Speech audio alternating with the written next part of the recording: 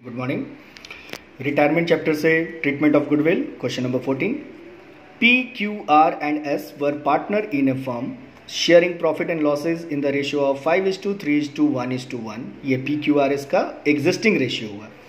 On first January 2020 S retire from the firm यानी कि S business से retire कर जा रहा है। On S retirement goodwill of the firm was valued at rupees four lakh twenty thousand जिस दिन एस रिटायर कर रहा है, उस दिन फर्म का गुडविल है four lakh twenty thousand so new profit sharing ratio among P Q and R will be four is to three is to three. तो यहाँ पे पी क्यू आर का न्यू रेशियो हम लोग को पता है पी क्यू आर का ओल्ड रेशियो हम लोगों को पता है। तो सबसे पहले हम लोग निकालेंगे गेनिंग रेशियो उसके बाद क्वेश्चन सॉल्व करेंगे। तो आइए देखते हैं इसका solution question number fourteen old ratio P Q R S five is to three is to one is to one जहाँ एस को राउंड कर दिया, यानी कि ये रिटायर कर रहा है।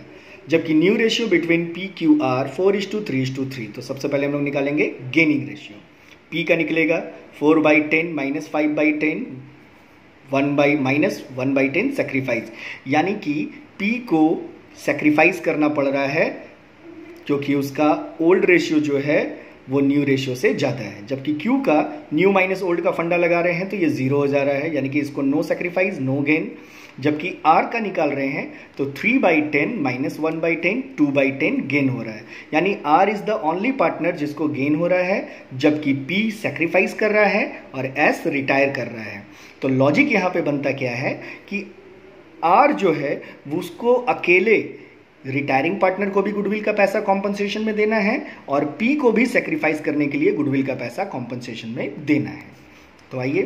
So S share in forms goodwill S जो कि रिटायर कर रहा है फोर लाख ट्वेंटी थाउज़ेंड का one by ten forty two thousand देना पड़ेगा।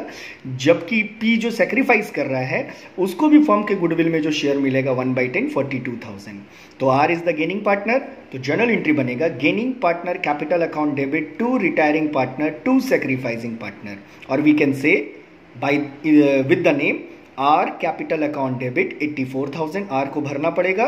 To C S capital account S retire कर रहा है, इसलिए उसको कॉम्पनसेशन के लिए to P's capital account for their sacrifice being the adjustment entry pass for goodwill ये क्वेश्चन थोड़ा अच्छा भी है और इंपॉर्टेंट भी है, इस पर थोड़ा फोकस करेंगे. Thank you